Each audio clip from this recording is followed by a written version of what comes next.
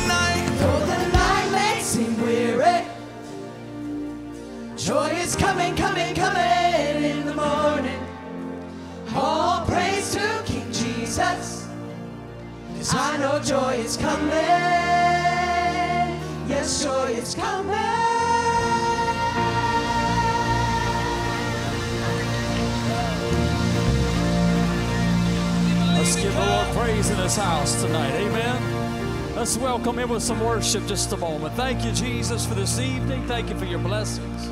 Thank you for your people. God bless this place tonight. Thank you, Jesus. Thank you, Lord. Amen. We're going to be having a great celebration here in just a moment as we honor all of our graduates, and we're so thankful for all of our guests that have come to be with us tonight. Let's give them a Church of Pentecost welcome. Thank you for coming to be with us and to gra- honor your graduate tonight. Before you're seated, we're going to just have a word of prayer tonight. My mom is still suffering. We have uh, a couple of our young ladies that are uh, in need. They've had surgery, and uh, little Lucy is still in need of prayer. And I see Victoria here tonight.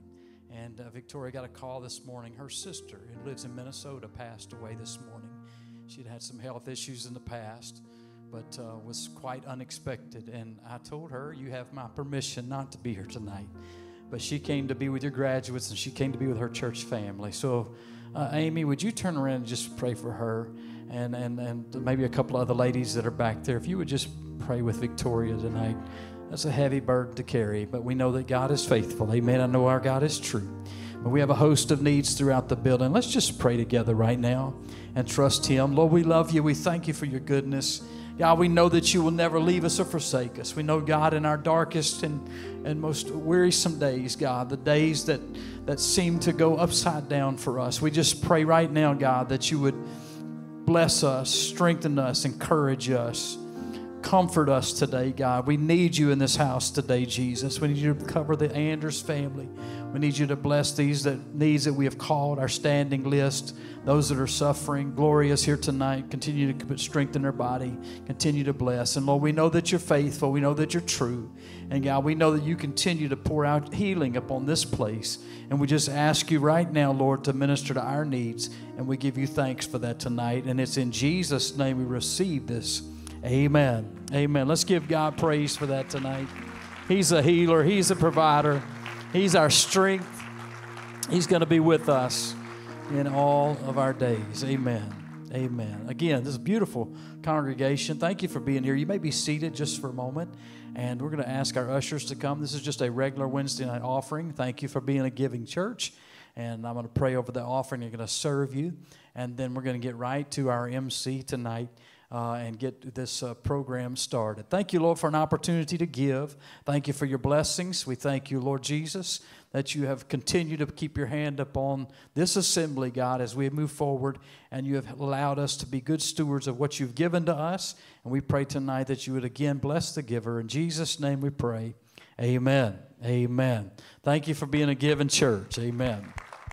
Amen. Just a few things uh, on the on the agenda. We do have a dorm work day coming up. Uh, that's going to be on the 25th of this month. So any of you guys that can help us, we are continuing to work on our boys' dorm, getting it all prepared, and it's getting closer. And we are looking forward uh, to that. And tonight was a little interruption in our normal Wednesday night, but next Wednesday we'll be back to next steps and uh, we're looking forward to, to that, along with uh, Brother Holloway's teaching on Wednesday night. And this is always a packed out and lively place on Wednesday. We encourage you to come back and be with us again if you don't have a home church.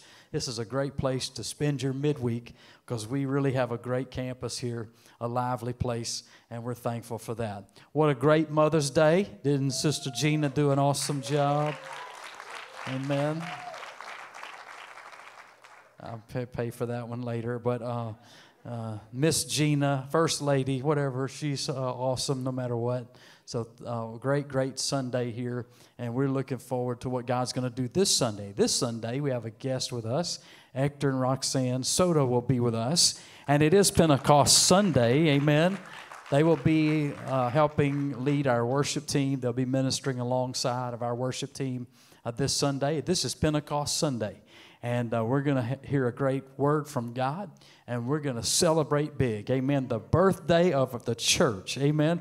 Come hear the message. Come be part of it this coming Sunday. Looking forward to all of that. So, without further ado, I need to turn this to our MC tonight. Uh, Clark, would you come and take over from here? And uh, we're excited about uh, honoring our graduates tonight. Amen. We're thankful. A record number, 18 this year. God bless. Thank you for coming out and supporting our graduates. It, it, really means a lot to them and to their families to have support on this night. So thank you for being with us and coming out to support. It means a lot. And I'm excited. I have the honor and the privilege tonight to introduce you to these graduates and also tell you some of the things. I want to make a disclaimer here that I did not have anything to do with some of the things they may want you to know about them or, you know, some of their favorite things. They're, uh, just, you know, you I guess that'll make sense in a minute. But uh, I had nothing to do with that. I just have the privilege to announce uh, our graduates and introduce you to them. So without further ado, uh, let's, let's get it started. I think DJ is going to cue up some music. All right, our first graduate tonight is Miss Alexandra Austin. She's graduating from Grant High School, and some of her favorite things to do are powerlifting. She works at Sweet Joy Bakery. She likes to paint. Uh, one of her favorite scriptures is Isaiah 41 and 10. Fear not, for I am with you. Be not dismayed, for I am your God. I will strengthen you. I will help you. I will uphold you with my righteous hand. And her future goals and plans are she wants to get a diagnostic medical sonographer. And uh, she also wants you to know that she had a 4.0 GPA all four years. And she was a first place state champion in her weight class in powerlifting. That's awesome. Our next graduate tonight is Mr. Storm Boyette. Storm is graduating from Mississippi College. He's got a Bachelor of Science in Biology, Medical Sciences. He's also graduating summa cum laude with a GPA of 3.9 to 4.0, Mississippi College Honors College, and he's on the president's list. Some activities and things he's involved in are the Tri Beta Biological Honor Society, student members of the American Chemistry Society, Mississippi College Pre Dental Society, the Shawreth Men's Service Club, and Mississippi College Student Recruiters. Some of his hobbies and special interests include ceramics, volunteering at the John and Vera Mae Perkins Foundation. He served over 53 hours there, and he volunteered at the Jackson Free Clinic and served over 35 hours there.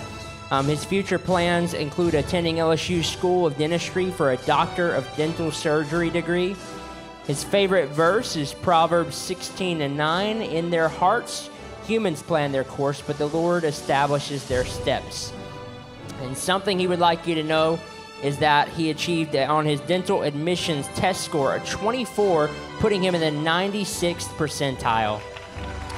Very impressive. Our next graduate tonight is Miss Kinsley Brazel. Kinsley is graduating from Alexandria Senior High. Some of her awards, certificates, and honors include platinum overall on work keys, mastery or advanced on all her high school LEAP exams, ULL Cypress Scholarship, commuting to LSU, and A honor roll. Some of the activities she's involved in include Environmental Club, FCA, Best Buddies, which is a club geared towards engaging with the special needs students, Trojan Mentors, a mentor program where upperclassmen take freshmen under their wing. And some of her hobbies and special interests include volunteer work, uh, baking, reading, listening to music, traveling, spending time with friends and family, and her future goals are to major in architecture at LSU and be actively involved in her college community. Her favorite verse is Hebrews 13 and 8 Jesus Christ is the same yesterday, today, and forever. And something she'd like you to know is that, hey, I survived high school and made it out with all A's. Way to go, Kinsley. Our next graduate tonight is Miss Maggie Joy Burgess. She's graduating from Faith Christian Training Academy. And some of her awards and certificates include received the Beauregard Electric Scholarship. She received the Principal Award for Academic Achievement. She received the Honor Cord for Beta Club. She was also a member of 4 H for two years. She participated in Woodman Skills Girl, Girl Cross Cut in 2023. She participated in Judging Day, which is horse judging, in 22 and 2023. She also attended Vernon Parish Youth Farm Day in 22 and 23. And she played volleyball with Hope Baptist School for eight years. She was the captain for five years and was awarded MVP for three years. She was also a member of the Acadiana Juniors travel volleyball team for two years and was the captain for both years. She loves to hang out with her friends and family, loves to go hunting and fishing. She has a love for photography and was the yearbook photographer for two years at Hope Baptist School. Her future plans include attending McNeese State University to major in radiology. And her favorite verse is 1 Timothy 4 and 12. Don't let anyone look down on you because you are young, but set an example for the believers in speech, in conduct, in love, in faith, and in purity. Our next graduate tonight is Mr. Nathaniel Forrest Carmouche. He's graduating from Grant High School. His awards include JROTC Cougar Battalion Commander, the American Legion Award, and Knights of Columbus Award. He was also involved in band, six years of trumpet, and JROTC for four years. Um, as a, a Sergeant XO, then BC, is that right? Hobbies and special interests include volunteering, such as picking up garbage and cleaning up our cities. His future plans and goals are to be a music and or slash history teacher at Grant High School. His favorite verse is John 19 and 30. And something he would like you to know about him is hey, I'm pretty cool. I love the USA. my GPA is going up, and my ACT score is at a clean 20. Our next graduate tonight is Miss Lauren Crist.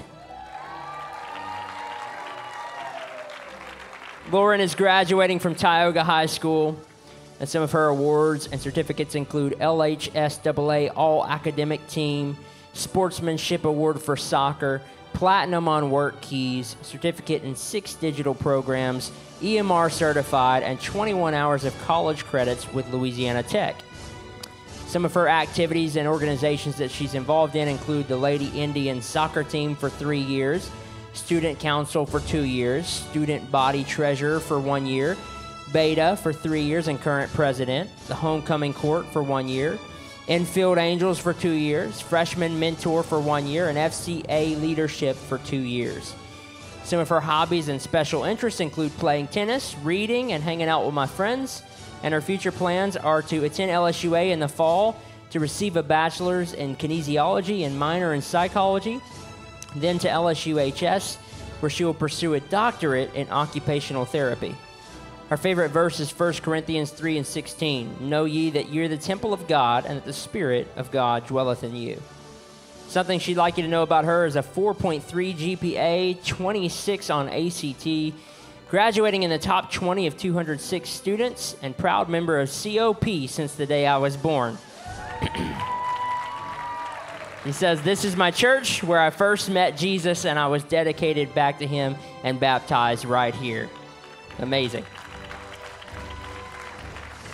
Our next graduate tonight is Miss Aslan Reed Durand. Aslan is graduating from Unitech Academy. She's going to college for phlebotomy slash EKG. Her activities and, and organizations that she's involved in include, she said, I'm currently specializing in home health care until starting clinicals in my field. And some of her special interests include spending the day at the lake with friends. Future goals include further education and work in the hospice field. Her favorite verse is Matthew 4 16 through 17. The people living in darkness have seen a great light. On those living in the land of the shadow of death, a light has dawned.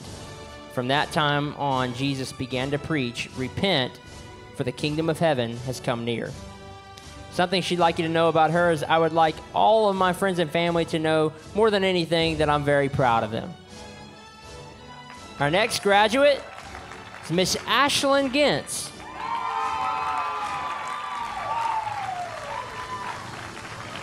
She's graduating from LSUA with a bachelor's of clinical psychology and a minor in communications. And some of her awards include the Mulder Circle member. She was also involved in honors. She had honors experience and the psychology club. Uh, some of her hobbies and special interests include I love my cat, Peach, and playing piano.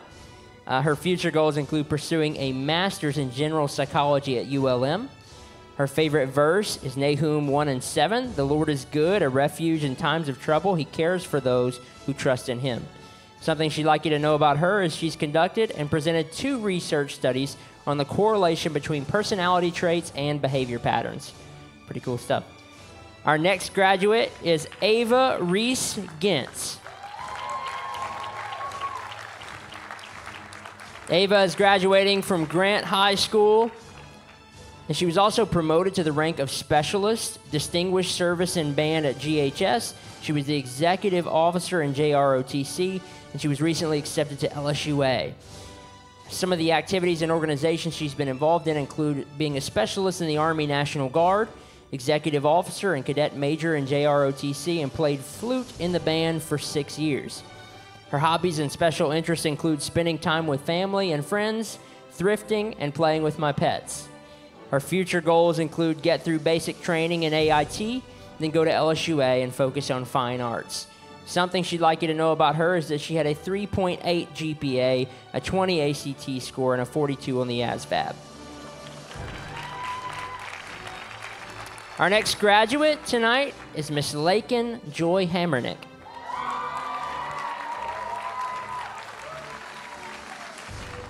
Laiken is graduating from Alexandria Senior High School, and her awards include admission to LSU Honors College, AB Honor Roll, and Platinum on all work keys tests. Some of the organizations she's involved in include being a Key Club member for two years, active Key Club president, the Art Club for three years, an active Art Club leadership team, the National Honor Society for two years, Trojan TV for two years, Beta Club for one year. She was a student, student council representative for one year. She was a part of the Youth Volunteer Corps for one year, FCA for four years, volleyball for one year, and Palm Line for one year. Her hobbies and special interests include, she said, I enjoy taking naps, babysitting, volunteering in children's ministry at COP in SALT, and working at Beans and Cream. Her future plans include attending LSU Honors College in the fall to major in psychology and later get a PhD. Favorite verse is Matthew 6 and 33 through 34. And something she'd like you to know is that she graduated top 10% of the graduating class with a 28 on the ACT.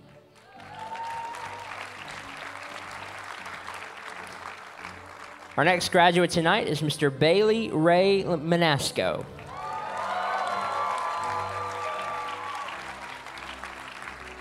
Bailey's graduated from Pineville High School this year, and some of his awards and certificates include TOPS Performance, ULM Merit Scholarship, AB Honor Roll, Top 100 at PHS, District Literary Rally participant for Spanish 2 junior year, District Literary Rally participant and winner for AG2 senior year, highest score across all districts for AG1, Letterman sophomore year, most improved player for PHS soccer sophomore year, Coaches Award for PHS soccer junior year, PHS soccer captain senior year, all academic team, winner of the Veterans Day essay contest hosted by the VA Medical Center and Valex Credit Union, Pineville Proud Community Award, CLEP for College Composition Modular, and qualified for district in PHS golf. Some of the activities he's involved in left wing and left back for competitive Cajun Rush two years, forward, right, and left wing, center back, and mid plus goalie for PHS soccer for four years, forward and goalie for Crossroads recreational soccer for four years, volleyball club one year, golf for PHS one year. And I've been a part of the COP Dream Team running lights and media since I was 12. Hobbies and special interests include social media reels for, G- for COP, soccer, golf, volleyball, dodgeball, youth camps, youth retreats, traveling with friends and family, gaming, Rocket League and Fortnite to be exact, uh, help with coaching for JV teams at PHS, helping coach Red River Soccer for fourth and fifth grade boys, reading books like Rich Dad, Poor Dad, and listening to podcasts about business and success, and giving Bible studies to friends. His future plans and goals include staying involved in church, playing intramural sports, and having my hands in multiple areas of business, but starting at ULM with a degree in general construction management. Favorite verse is Romans 8 and 28, and we know that in all things God works for the good of those who love him, who have been called according to his purpose. And something he'd like you to know is that I've been a part of the Rapides Parish Talented Art Program since elementary school. I've built my own computer, and I've taken a three hour finance investment class, plus already started an investment fund.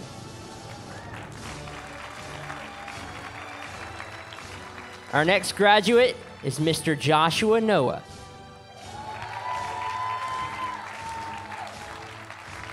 Josh is graduating from Pineville High School and wants to go on to aviation management.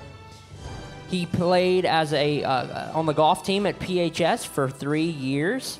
Some of his hobbies and interests include skating, driving, and golfing. Future plans: I want to serve in the U.S. Air Force and later become a commercial airline pilot. Favorite verse Have I not commanded you, be strong and of good courage? Do not be afraid, nor be dismayed, for the Lord your God is with you wherever you go. Joshua 1 and 9. Something he'd like you to know is that he had a 3.3 GPA.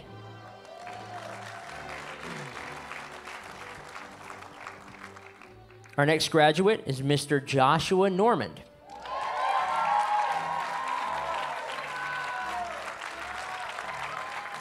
Josh is graduating from Bolton High School.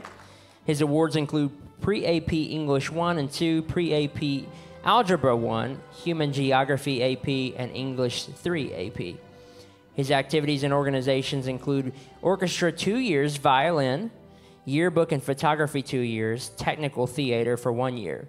His hobbies and special interests include media and lights in the church, listening to worship music, and traveling.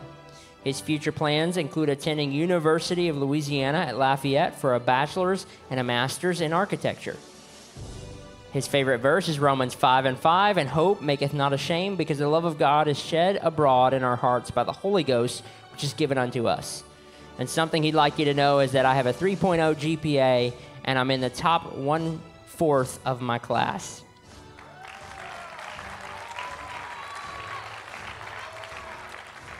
Our next graduate is Mr. Ethan Ryan Savage. Ethan is graduating from Grant High School, and he has a special interest in gaming and future plans, including joining the workforce. Our next graduate is Mr. Tyler James Rabalais. Tyler is graduating from Grant High School, and activities and organizations he was involved in include saxophone section leader for three years in band. His hobbies and special interests include playing different instruments, playing video games, and building Legos. His future plans are to go into the National Guard for radiology, then to go to LSUA. Favorite verse Romans 13 and 8 Let no debt remain outstanding except the continuing debt to love one another, for whoever loves others has fulfilled the law.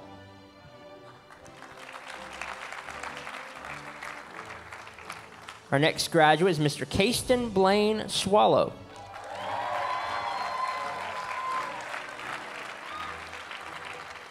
Caston is graduating Trinity Private Christian High School, and his awards include having a 3.46 GPA. His hobbies are gaming and four wheeler riding. Future plans are first to obtain my real estate license while attending LC for a bachelor's in computer science and his favorite verse is Psalm 23. Something he'd like you to know is that I cut my hair for this because my mom begged me to.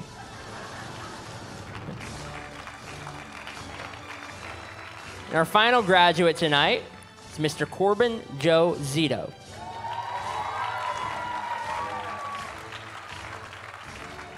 Corbin is graduating from Tioga High School. He's going to pursue a business degree. Awards, certificates, and honors include Hey, I survived a four wheeler wreck. I missed the most days of school and a broken hip. I lose my keys the most often. and I use mom's debit card the most. Activities and organizations he's involved in include football for four years, and he said skipped school for two out of four years. I don't think you're supposed to say that. Uh, hobbies and special interests include meeting with my mom in the kitchen after midnight. uh, future plans are to obtain a business degree, obtain a real estate license to become a realtor, and ultimately become a general contractor. His favorite verse is Proverbs 19 and 21. Many are the plans of a man, but it is the purpose of the Lord that will stand out. Something you'd like people to know about you? I still suck my bottom lip to soothe me to sleep. My dad is a genius, and my mom did my homework for me. and to faith, cilantro isn't so bad. All right. Give it up for these graduates. Aren't they awesome?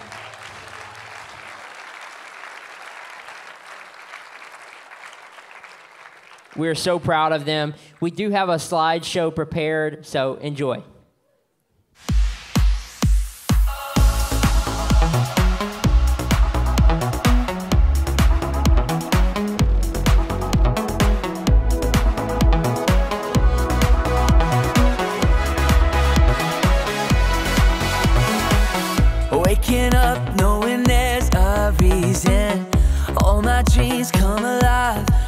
Is for living. With you, I've made my decision.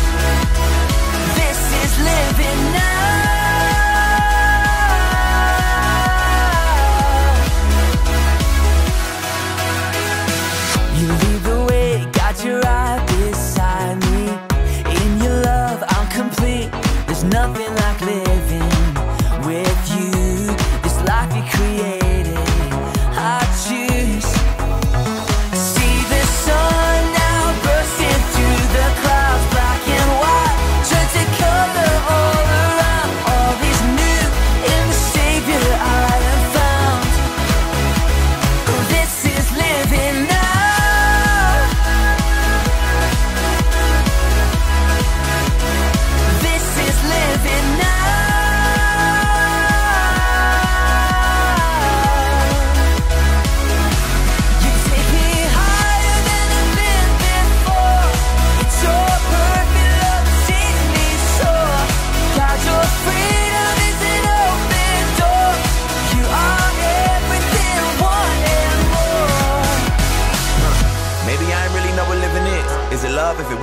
living it? Do I live in it? So astounding. Love is an ocean, you can drown me. The sweet embrace, the lovely taste I taste and see. I'm under grace, the place to be. It means I'll never need an umbrella.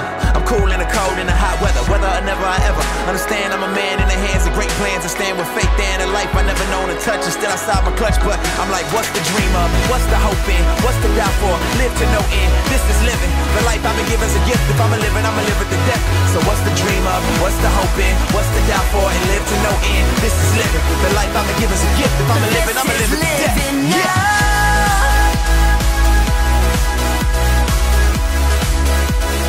This is living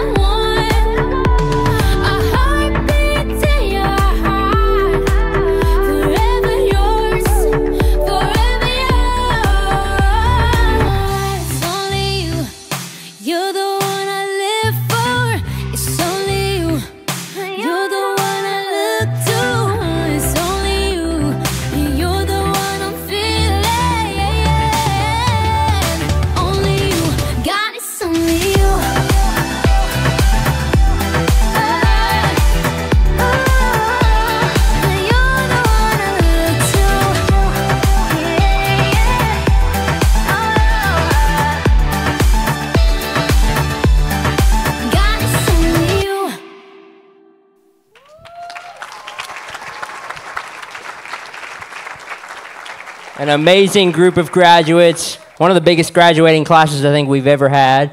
Over, se- I think there's 17 graduates this year. Uh, so this is pretty exciting. Now, every year we give them the option to, if they want to say a few things, to come up here. And uh, every year it seems like that number decreases on who's brave enough to come up and say something. But uh, we do have a few graduates that are going to share some, some words with you tonight. And I think our first up is Miss Lauren Crist. So give it up for Lauren.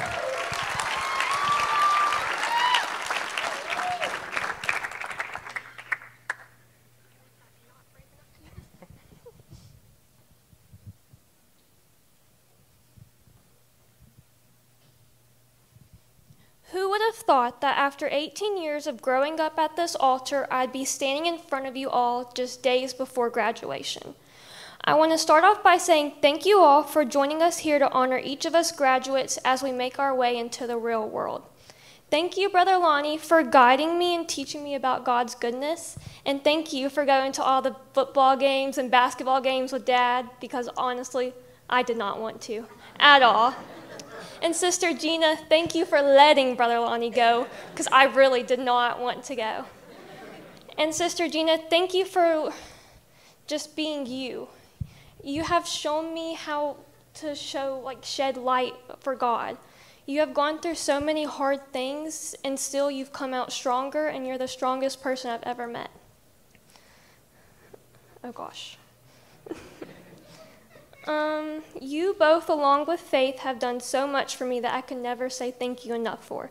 Next, I want to thank my family. Dad, you have shown me the true definition of patience. I know most of you have had to hold a random flashlight or tool for your dad, and it never ends up going very well, and I truly can attest to that. But, Dad, you are my buddy. You drop everything you're doing when I ask you for help or for a favor, and that's what I admire most about you. Now for my mom. You are truly my best friend. You're my role model, and you have taught me what it means to be a good Christian woman. You're my car karaoke person and just a light to anyone's day. I hope you know how thankful I am for you because you're always there. You once told me that you would do everything in your power to let me live out my wildest dreams, and you have succeeded in that. You are there when I need to rant or cry or just when I need some ice cream. And I know that being a mom isn't easy, but you make it flawless. And while my sister isn't here tonight, I need to give a little shout out to her because if it wasn't for her constant bullying and punching me in the nose for scaring her or teaching me about the real world, I wouldn't be as tough as I am. Now, on to the graduates. I saw this verse the other day and I thought I would share. Job 22 28 says, You will succeed in anything you choose to do, and light will shine on the road ahead of you. With that being said, anything you choose to do, make sure you do it for God. And finally, I want to thank all of my friends and church members for being here. I wouldn't be who I am without you, and y'all all have made such a major impact on my life. God has done so many miraculous things in this place, and I can't wait to see what He continues to do. I'm very excited for this next chapter in my life, and I just hope to make you all proud. Thank you.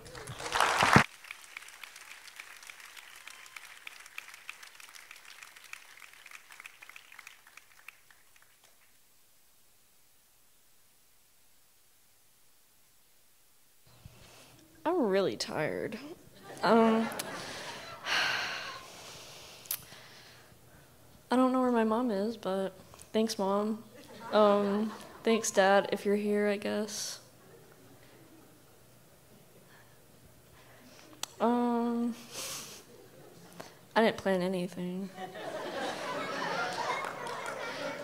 Thank you, Forrest and Tyler, for always being there.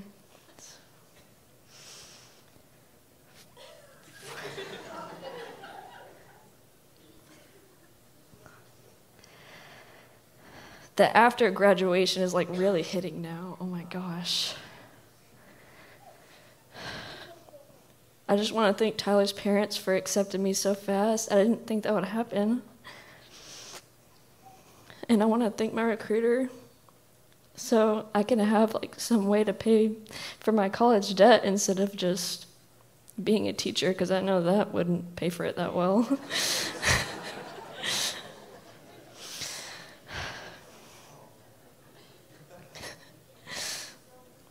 Um, honestly, high school was when it started, it was really hard. But now it just went by so fast. Well, I just want to thank my parents and my whole family, I guess, and the church. And God really helped me too. And I want to thank Faith for being such a good cousin to me. And thank Tyler. I'm done.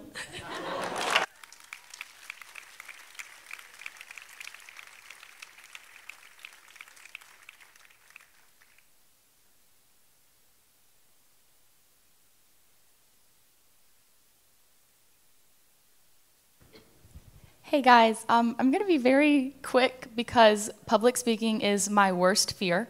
But I just had to come up here and say how crazy it is that me and my family just started coming here four years ago. And I can say that I know most everyone's name in here and face, and that each and every person is so kind. Um, every time I come, even if I'm in a bad mood or if I'm stressed out or if I'm on top of the world, every person in here always has a smile on their face and is always saying hi and is so kind. So there's a few thank yous that I wanted to give. First to Mr. Jeff Powell for all the days off of school.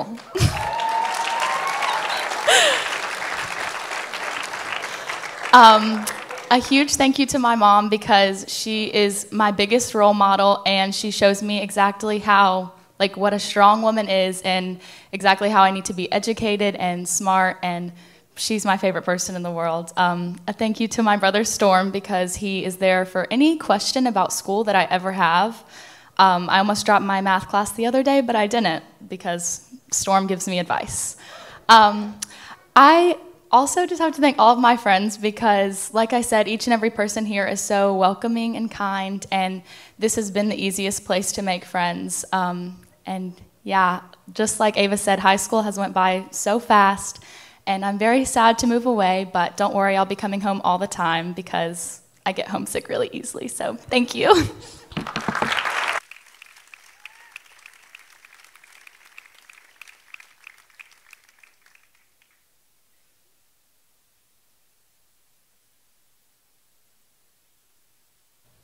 So I actually wasn't given much of a choice to be up here. Ashley told my friend, uh, he asked me if we were required to give a speech, and I told him we were because I was in, under the impression we were, but I told mom about it later, and she told me, she said, No, you're not required to, but you are. so, needless to say, I didn't start even thinking about what to put down until about an hour ago. And here we are. Let's see. First off, I'd like to thank all my supporters, everyone who came out tonight, and even those who can't be with us for whatever the reason may be. There have been many mentors and influences in my life, and even though I might not be very old, I know there's some people in there that like that, but I can say I've come very a very long way. In fact, I was actually thinking about it the other day, and I told mom, I said, Mom, I must have stressed you out a lot. I said, if I have a kid like me, I'll probably be gray headed by 30. Anyways, Sorry, Mom. But Parker, thank you for being my wingman, my partner in crime. Believe it or not, I do feel bad about getting you, getting you in so much trouble. And Hadley, I think we fought way more than we have anything else. But nonetheless, thank you for, for reminding me that there's always someone looking up to me. I know I'm not the best example, but thank you anyways. Love you, girl. And last but certainly not least, Mom and Dad, thank you for sticking with me every step of the way for being my biggest supporters and ha- having my back no matter the circumstances. Even if there's, if there's anything I've come to realize, it's that just because you're both hard on me and scold me, it's not because you don't love me, it's quite the opposite. To wrap it up, I figured the best way would be a cringy inspirational quote from somebody. But as I was going over my speech, I kind of had this verse come to mind. Isaiah 43, 18 through 19 says, Forget the former things. Do not dwell on the past. See that I am doing a new thing. So, although it is okay to remember your past and where you come from, you cannot forget that there is a future that you are to be a part of. Thank you, everybody.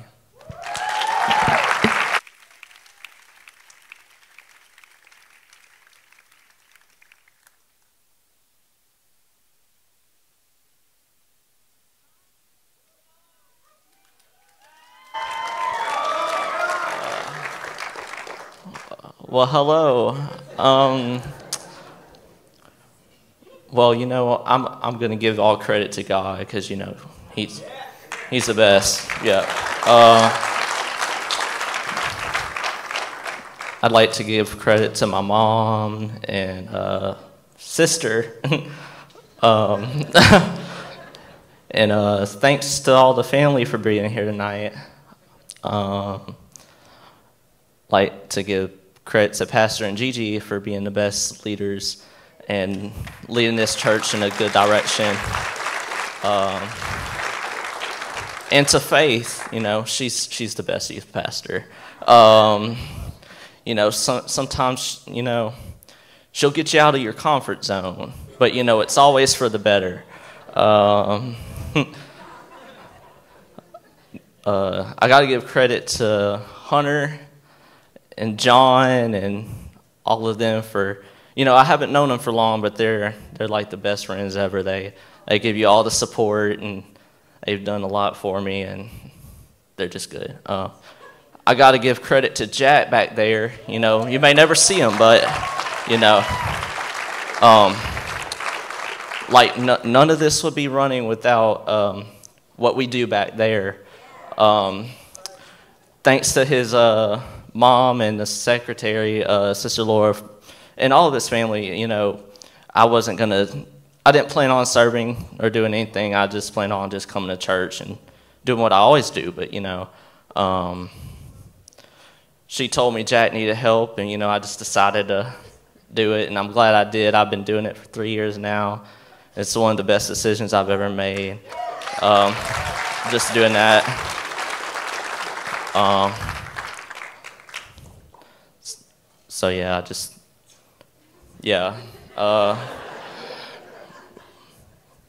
so just uh, always trust in God and always uh, pursue the Spirit and uh, have godly friends and reach the world to, um, the best you can um, with the anointing of God.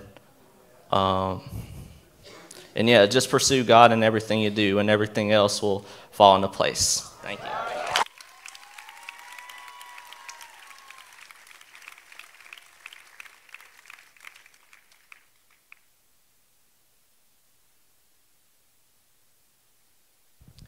I'll be honest, I don't have anything prepared, so I'm just going to wing it. Uh, I'd like to thank my family for always being there to love and support me for everything I do and help me figure out what I want to do in my life. I'd like to thank Ethan and Forrest for being the first two people I ever talked to when I moved out here. Super nervous, they both made it extremely easy. I'd like to thank my beautiful girlfriend Ava for loving and supporting me in everything, everything I do for the past four years now. I'd like to thank Bubba Price for helping me decide what I'm going to be doing for the next eight years of my life. and and I'd like to. Uh, they're not here, but I'd like to say thank you to all the friends that I left at Ash because I still talk to them just about every single day, and I make plans with them without their consent. But that's okay because they love me, I hope. And yeah, thank you.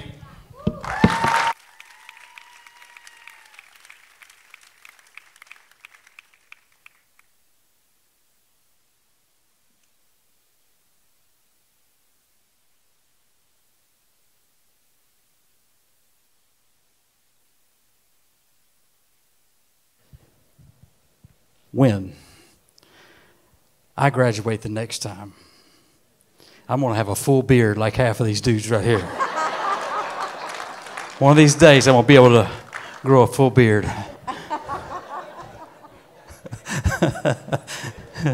when I when I graduated high school, I looked about 12. I only look 16 now, but I'm working on it. Oh, goodness. Um, I got to do the backyard at Tioga this year, and it was an honor to be called to do that. And um, going on my 40th year out of school. So, uh, yeah, I, I know I'm not supposed to spell all these things, but, but I just, every year, I'm overwhelmed at the incredible young people that come out of this church This is a phenomenal group of young people right here with miles of accomplishments. And knowing uh, the background of, of, of almost all of these, knowing where they came from, how they arrived at where they are, and some of the things they've overcome to get to this point are just phenomenal, magnificent. Uh, every time, I'm just amazed by each of you, and I'm, I'm so proud of you, so thankful that you have called this your church. And many of you, you may not recognize a lot of these young people because a lot of these young people attend mostly on Wednesday night in our youth service. And so it's an honor to know that kids want to come to this campus and be here and call us their church while they are going through those four years that fly by so fast, but, but uh, so very, very foundation of their life. And they launch from here, and I'm excited to see where God's going to take them. And I believe we are going to see. We've got we've got guys that's going to be doctors, ladies are going to be doctors. We're going to see great things out of this class, and I give them one more uh, warm applause for that. Amen. So a year and a half ago, our life turned upside down. Uh, we had never no idea we would be standing here, but one of the ways that we've been able to honor our grandson who, who passed from here was such a great and vital part of this church. He was part of the junior dream team. He was part of the involvement of this place, and he loved this campus tremendously. And so we have decided every year to give a scholarship in his name. And I want to say thank you to Matt and to the team. Where you at, Matt? You are back there in the back. Thank you, Matt, for doing what you do. Um, right after he passed, they decided to do a uh, benefit uh, cornhole tournament and raise funds, and they wanted to know what we needed to do with them. And so we decided that what we're going to do is every year, as we raise these funds, as these come in, we're going to give a scholarship away in Brendan's name every year. This year was rather difficult. There were some very, very qualified young people that placed their name in here, and I'm just thankful. And I know that I would love to be able to give all of you this scholarship. I promise you that, uh, because uh, many of you were connected with him in so many ways. And I know as we get closer to his to his class, it'll even be more that uh, just had close connections to him. But this year, uh, we're going to give this scholarship to someone who uh, has come to this campus and uh, been it's been not an easy road for them. It's been a rather difficult road and a hard place. But they have uh, walked onto this campus and chosen not to just attend here, but to be a vital, vital part of our dream team that's here that serves. And so, without further ado, I want to welcome to this place today to receive the Brendan Weidner Scholarship Fund. Josh, come on up here.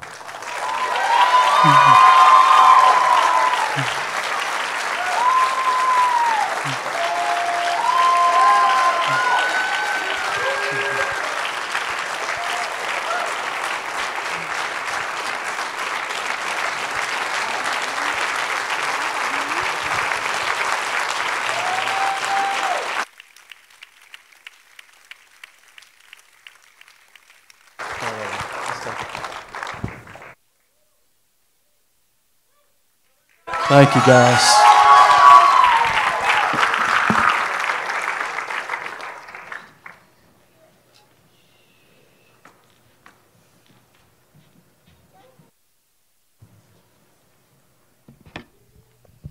Don't you love the awkward walk up when you have to watch me walk up? Hey, y'all give this class another hand. I feel like y'all need to wake up again, and they need to be celebrated as much as we possibly can.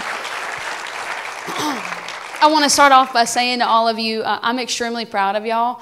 I mean that uh, because I don't feel qualified after reading what all of y'all aspire to do to be up here. I was like, I'm a graphic designer. And let me just read all, I'm just going to read it off, some of the ones that I was reading, because it's, it's crazy, okay?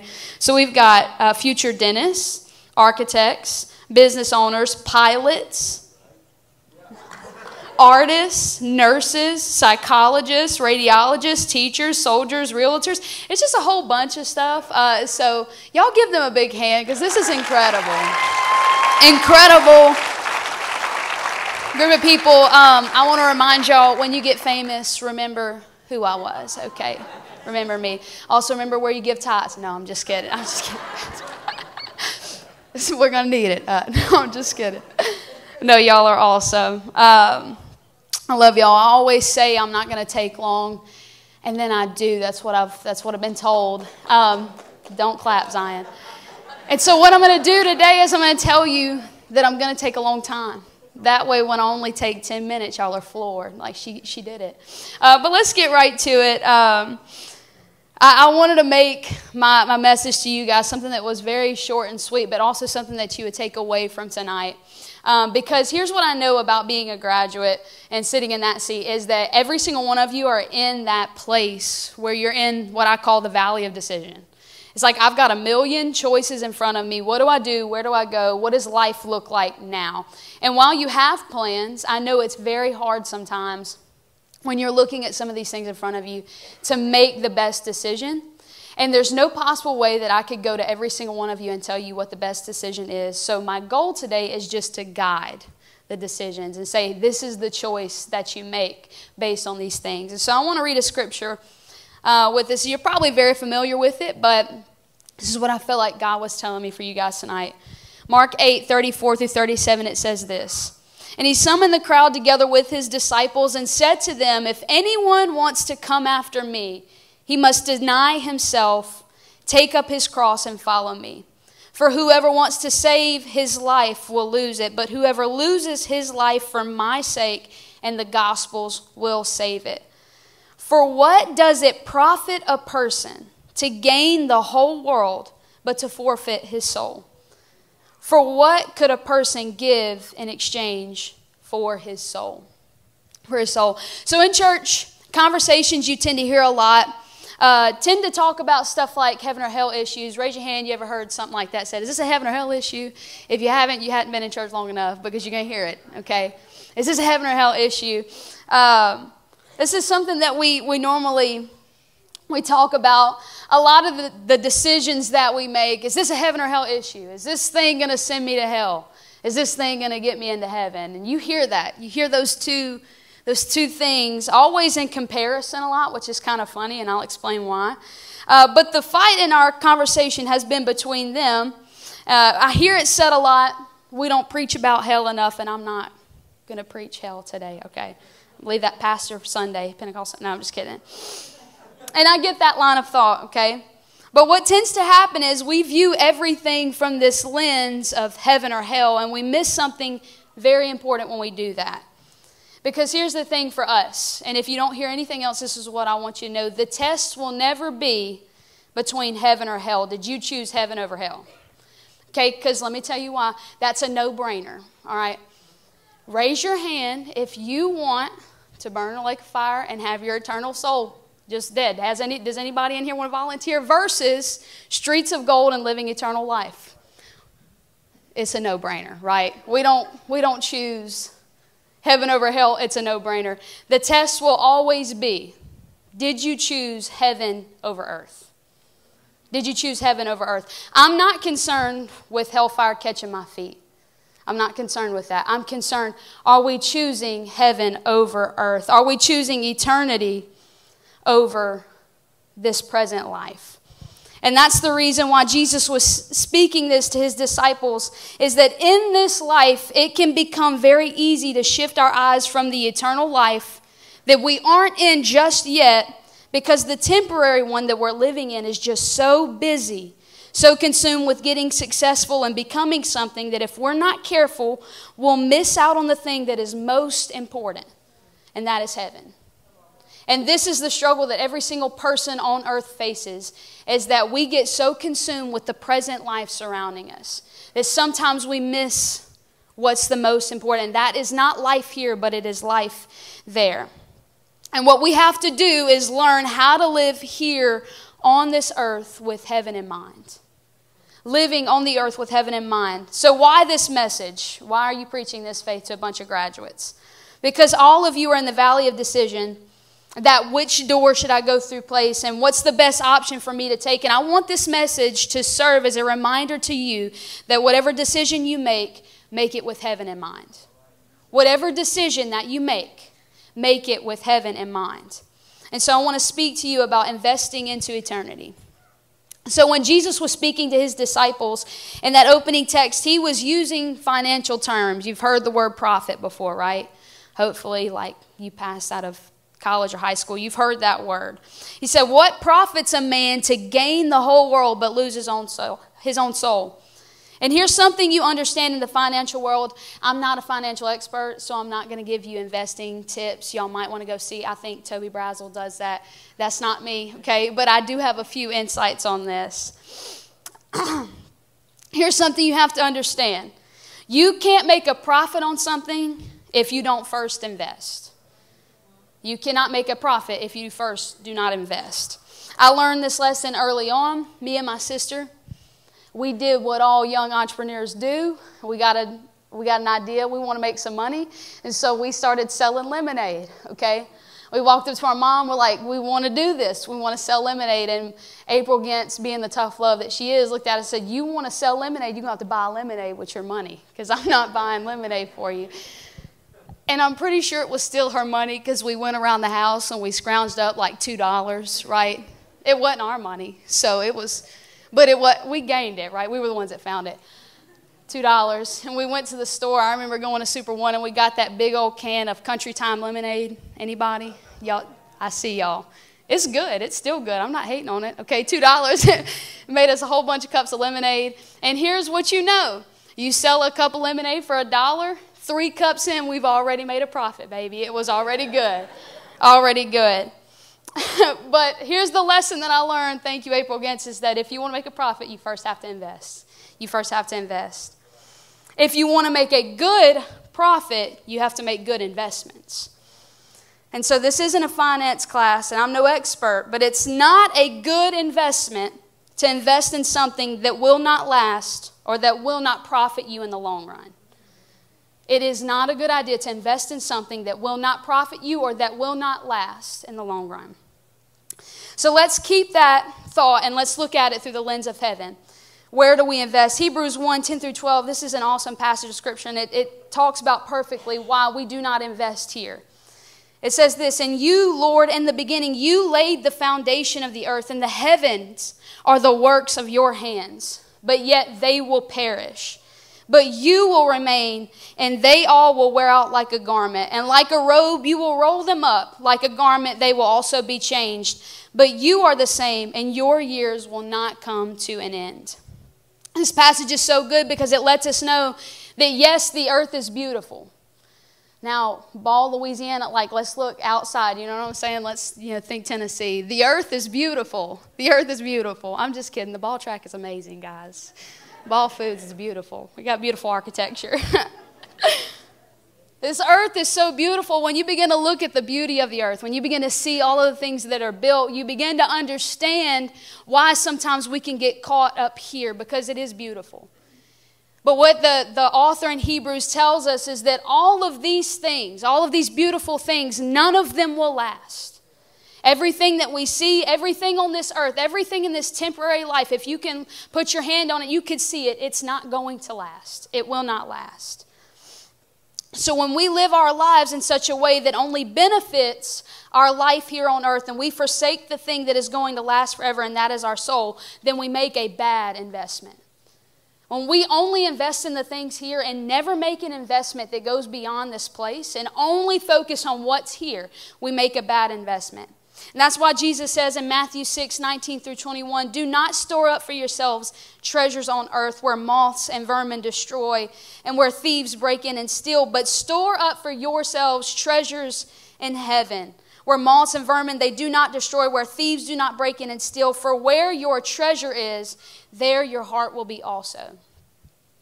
The good investments are the ones that store up treasures in heaven the good decision to make is the one that prioritizes heaven over everything else. So when you're looking at a decision and you've got options on the table, and there, there are things in front of you that what, deci- what decision should I make? Make the one that prioritizes heaven. Make the one that you can prioritize your soul in. Am I going to be able to get connected to a church there? Am I going to be able to find a group of people to go settle down? Am I going to be able to stay connected with God and stay connected with people where I go? Because if not, then it's not a good decision because we have to prioritize heaven over everything else. So, how do we invest into eternity? How do we store up treasures in heaven? We must come to understand and believe this. Every decision we make is an investment into something. Literally, every single decision that you make. Everywhere that we decide to spend our time, every place we decide to use our talents, every relationship we invest into, everything we say and do, it's an investment into something. I feel like graduates are actually able to understand this concept more than most, and I'm going to tell you why. Let me give you an example because this has happened to me before. But you spend your time the week before the test, that big test, studying for the test, and you invest in a higher grade for yourself, right? Maybe. It depends on how well you understand it. But you spend your time the week before binge watching Netflix instead, and guess what? You've still invested into something. It's just a worthless investment because you flunked the test, which is the whole point of being in the class, and now you have significantly more knowledge on what happened in season four of Grey's Anatomy. That's what you have. So it's always an investment. It's just a, an investment into somewhere. And so we have to be very particular with where we put our investments, where we spend our time, where we use our talents where we where we invest our relationships because every single thing that we do is an investment so we've got to make sure that our decisions and the things that we do they are investments into an eternal life and so, when it comes to answering the question, what do we invest? Jesus gives us an amazing parable. I'm not going to read the parable for the sake of time, but I'm sure that you've all heard it. But if you haven't, I'm going to summarize it. It's the parable of the 10 talents. A master comes to the people and he says, Okay, to you, you, I'm going to give five, but to you, I'm going to give two, and to the other, I'm going to give one. And now, what I want you to do is, I want you to turn around, I want you to do something with the talent that I've given you. Now, talent is money, not talent and ability. Like, Poppin can play the piano, but this isn't the same talent, right? Just context for anybody that doesn't know. He looks at him, he says, I want you to turn this into something. Do something with this thing. And when he comes back, he asks the servant, What did you do with what I gave you? To the first one that had five, he turned it around and he doubled the thing. To the one who had two, he did the same exact thing. He had doubled it. But to the one who had one, he had buried his talent did absolutely nothing with it. And when he looked at that servant, he said, You slothful and wicked servant, why would you do that? But to the other ones, he said, Well done, thou good and faithful servant. You've done good with just a few things, and I'll make you ruler over many. And so we understand what Jesus meant is that what you do with what you have is always an investment, and what he gives you, you've got to be diligent and steward that talent, steward that ability, steward that relationship, steward those things as to invest into your eternity over everything else. Because the only question he's going to want you to answer at the end of your life is what did you do with what you were given? What'd you do with it? Some of you were, were dealt different hands. Some of you don't have the same playing field. Some of you didn't have rich families. Some of you might come from that. Some of you do have those things. What did you do with what you were given? What did you do with what I gave you? Every single one of us has, given, has been given some kind of talent, ability, gift, time, or money. How are you going and where are you going to invest the resources that you were given by God? And what I want to make sure that we do in this life is not to look at your life like, woe is me, I don't have enough, I don't have a lot, I don't have these things that other people have. No, you have something. God gave you something. Whatever that looks like. You might not be the top of the class. You might not be the storm boyettes that are the smartest guy in every room, okay? You might not be the person that's on the A honor roll, but are you somebody who has a talent somewhere else? Are you somebody who has another ability in some other place? Are you somebody who knows how to build relationships? Are you whatever you have, what are you going to do with that? It's not about focusing on anybody else's but yours. And that's another thing that I want to take note of in this parable is that you will only be judged based on what you were given. The man with the five was judged on his five. God didn't expect the one to turn it into another five and to have more than the one with five. He just wanted the five to do with what he had. The same with the two, do with what you have. And the one, all he had to do, he was only judged based on his one. And in the same way, God will only judge you based on what you have. There's no point in comparison here. There's no point at looking at somebody else's life and saying, why can't I have that or why don't I have that? It's just, what can I give with what I do have? Oftentimes in the church, I hear a lot of people say, You're going to stand beside Paul one day and have to be judged. No, I'm not. Y'all stand there. I'm going to be on my own, okay? Let Paul be Paul. Faith's going to be faith, okay? That's all we're doing. It's not biblical either. Because here's the deal Paul's going to be called to be a martyr. If you're called to be a martyr for the gospel, go be a martyr for the gospel. But maybe, just maybe, that's not what you're called to do. Maybe God just called you to be diligent wherever you're at and saying, You're going to go be a realtor, go be a realtor for the glory of God. If you're going to go do go be a teacher, go be a teacher for the glory of God. If you're going to go be a psychologist, go be a psychologist for the glory of God. We're not judged based on anything else. But what did you do with what you were given? And there's a tendency in messages like this when I talk about eternity and making sure that your life is consumed with eternal thought to think that I'm saying that all of you have to drop what you're doing and come be in full time ministry. And I'm telling you, that's not the truth. That's not the truth. First of all, we can't take on full time ministers here, okay? I don't know if we can get along like that. I don't, no, I'm just kidding. But that's not what the calling is for any of us. It isn't taking everything that you've done so far and giving it all up because not everyone is called into that. No, some of you will still call, be called to be dentists or to be realtors, to be clinical psychologists, to be soldiers, to be architects, to be teachers. But when it comes to choosing what you're going to do, how you're going to live, I want you to continue to pursue those goals, but make sure that as you pursue those things, you are continuing to prioritize eternity in everything that you do continuing to prioritize eternity. Brother Jeff taught this one time, and I think about it all the time. Uh, when it comes to the Great Commission, Jesus looked at his disciples right before he left, and he said, You go and make disciples of all the nations. That's what he told them. But actually, the text insinuates that it's saying, As you go, make disciples of the nations. So, what does that mean for us? Is that as you go on your way, doing whatever God has called you to do, Continue to do those things, but as you go, as you go be the teacher, as you go be those things, go do those things, but be and make a disciple as you do it. It's a mindset shift, and it's nothing more than that. It's saying this eternity that I've, I've kind of put on the back burner now, it's not a compartmentalized part of my mind, it's everything to me. It's not something that I think about in the back and I, I bring it up every once in a while when I'm at church. No, but every decision that I make flows from that thought process that my eternity is at stake and I've got to prioritize that everywhere I go. And if it does not invest into my eternity or somebody else's eternity, then it might not be worth the investment overall. It's just a mindset shift, and that's all it is. And I love that God has a way of taking what you do and turning it for His glory if you commit it to Him. It's such a beautiful thing when He called some of the disciples that were fishermen.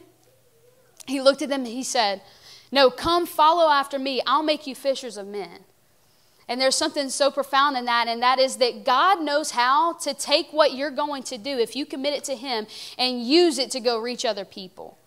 He knows what you're going to go do. He knows what you're going to go invest in. Continue to do that thing, but allow God to turn it into something that can reach people and something that can get you and, and your family and everybody else that you know into eternity with you. So, whatever you have set out to do, continue to pursue that thing. Just make heaven a priority in your life. And there will be a time when multiple decisions come up for you. Choose the one that prioritizes heaven. For those of you who are going away to college, and I want, I hate that. Okay, I just want to say that. Josh is going to ULL. What? Come on, bro. Uh, I'll go fight the whole school. I'm done. Uh, but for those of you who must leave, Ball, Louisiana, and those of you that are going away to college, listen to me. Prioritize heaven. You go to college, it's not a second secondary decision of where can I find a church and where can I get plugged in. No, make heaven a priority. Because if it's not a made up mind when you walk down there or walk up there, wherever you're going, if it's not a made up mindset now, it won't be a made up mindset then. Eternity has to be on your mind everywhere. And so as you go, as you go, as you go to those schools, and I feel like God has called you to those different places. Maybe it's that you're going into the guard after this. I, whatever you're going to do, make heaven the priority. And when it comes to making a choice, if there's no way that you can sustain a relationship with God and pursue that thing, then do not pursue that thing because heaven's always the priority. Heaven is always the priority. There are going to be times, sometimes, where you have to make a decision that does not make sense to temporary minded people. There's going to be a time, sometimes, maybe, where there's something on the table where you can make more money or you can do something more, but for some reason it compromises your eternity or it compromises your relationship with God. I'm telling you, I know it won't make sense to some people, but you have to prioritize that thing because what profits a man? To gain the whole wide world but lose his own soul? What would profit you if you went somewhere but you lost your relationship with God? What would profit you if you walked away with a college degree but at the same time you lost everything that you had? What would profit you if you left this place and you went into wherever you're going, the guard or into your job? If you got all of this money or you did all of these things, but yet you lost your soul? That's why Jesus asked the question What shall you give in exchange for your soul? What is the thing that you would, you would deem more valuable than your eternal life after this? There's nothing. So we have to make it a priority always. I say this and I'm fixing to come to a close, but you can tell if someone truly believes there is an eternity by the way that they live their lives. Somebody that truly believes there's an eternity lives like there's an eternity after this. Somebody that believes there's eternity lives with everything and every purpose in their life with the geared up mindset that there's something else after this. Someone can profess to believe that there's an eternity, and I hope all of you do profess that. Hope if you're sitting here that, that you are convinced that there's something after this. But someone can profess it. But does eternity affect how you live your life on earth? That's the real question. Eternity was never meant to be something that was on the back burner, but it is the framework from which every single decision that we make flows from. Our relationship with God is not something that is compartmentalized, it is meant to be everything to us. It's not meant to be something that I think about on a Sunday or on a Wednesday, but it's meant to be the thing that I pursue daily. Eternity is the framework from which everything that I do in my life is viewed, and nothing less. We won't be judged by what we profess to believe. And I want to say that again. You will not be judged for what you profess to believe. So, did you say you were a Christian? That's cute. What did you do with what you profess to believe? If we say that we are Christians, what did you do with what you profess to believe? Is Christian just something you say because you think that that's the thing that you need to say, or is that something that affects everything about you because it should? You will not be judged based on that, but understand it's the weight of your life, the things that you do, the things and the actions that you take. That's the thing. That's the thing that's going to get you there. If you profess to believe in it, make sure that your life looks like you believe that there's an eternity in every decision that you make. And I'm going to uh, give a quote by John Bevere, and then I'm going to turn it over to Pastor to pray over you guys. But it says this To fear the Lord is to honor, esteem, value, respect, and reverence Him above anything or anyone else. It is to love what He loves and hate what He hates. What is important to Him is important to us. What's not important to Him is not important to us. When we fear Him, we will tremble at His word, which means we obey Him instantly. When it doesn't make sense, when it hurts, when we don't see the benefits right away, we will obey to completion we will obey to completion. And that's my last word for you. I'm going to call Pastor up here to pray. And my last word for you guys is that every decision that you make, remember that that investment is above everything else. And I can give you advice on maybe where to go and what to do here in this present life, but I'm going to tell you this if it compromises that, then it's not worth it because that is the most important thing. And I love you guys. I'm proud of y'all. Thank y'all for letting me speak to you. I'm going to turn it over to Pastor.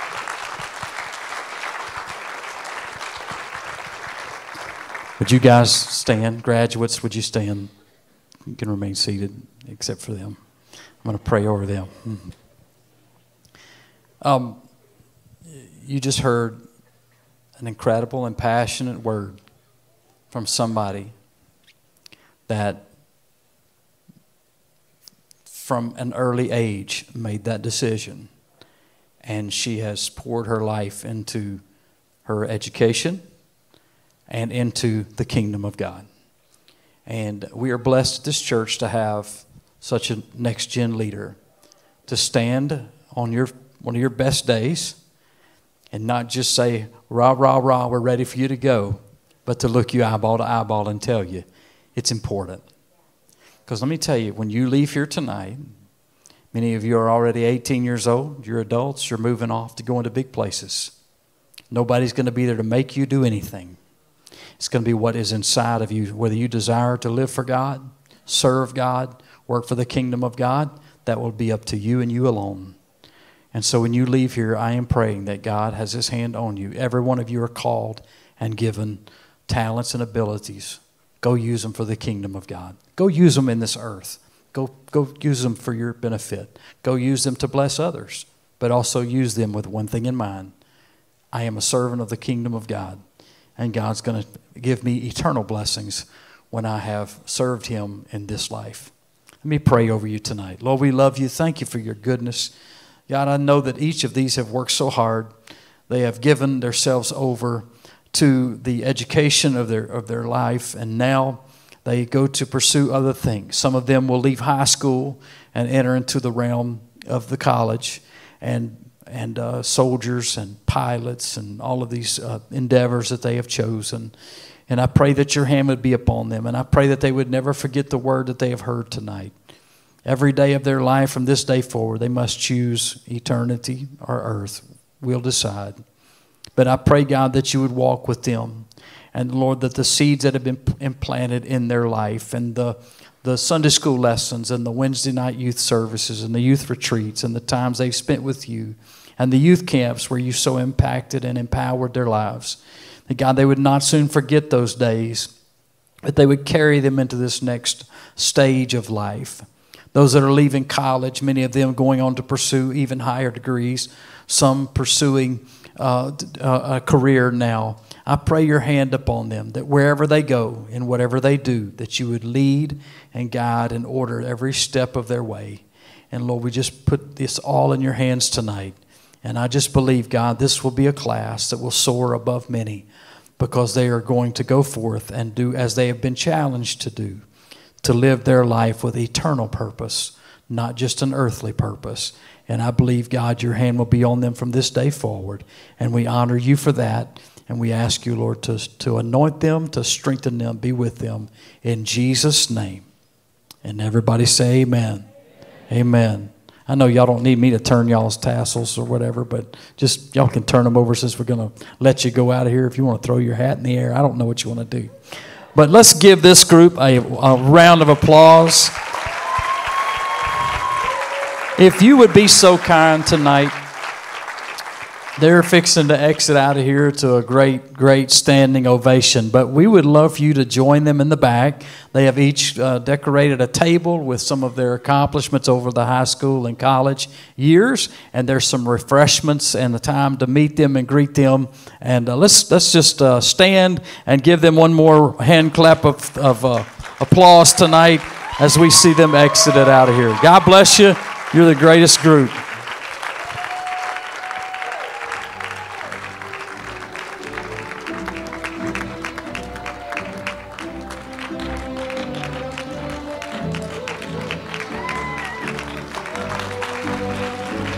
Yeah, they deserve that. The Jeff Powell, thank you. We appreciate you very much.